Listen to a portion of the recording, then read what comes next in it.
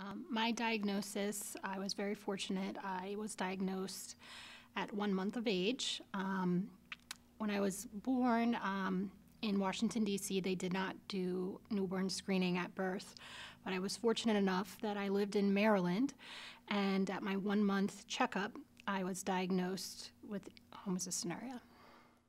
I uh, take Vitaflo formula. Um, about I use these um, little packages of formula. They're 20 grams of protein each, and I mix them up in a blender bottle um, with water, and I take that three to four times a day, depending on how active I am during the day.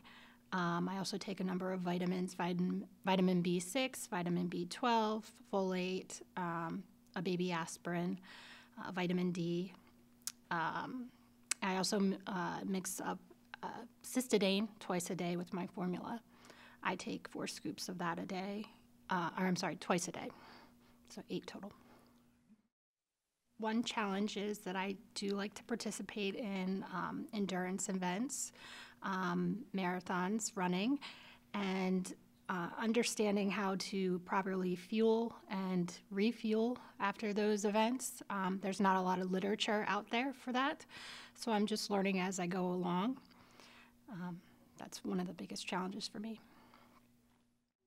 One of my biggest concerns would be um, as I age, um, I haven't had a lot of um, implications of the disorder to this point, but I fear for what will come down the line as I get older.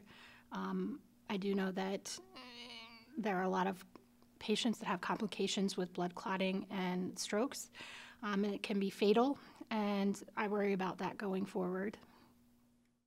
Well, for my future, um, my husband and I would like to start a family. Um, so that is hopeful. I, I do have a lot of hope with that. Um, I know of other patients that are starting their families, so I'm, I'm hopeful for that.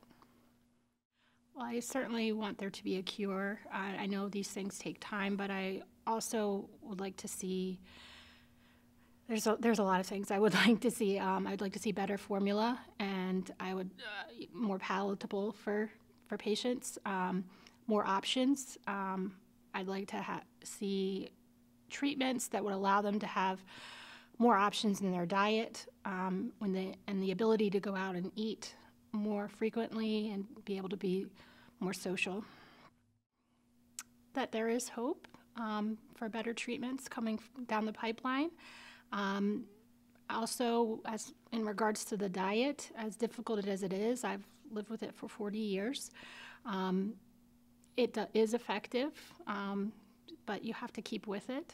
Um, so, uh, as you know, it, it, you can have a lot of reward from you know sticking with the diet and the formula, and um, and hopefully in the future we'll see some better treatments.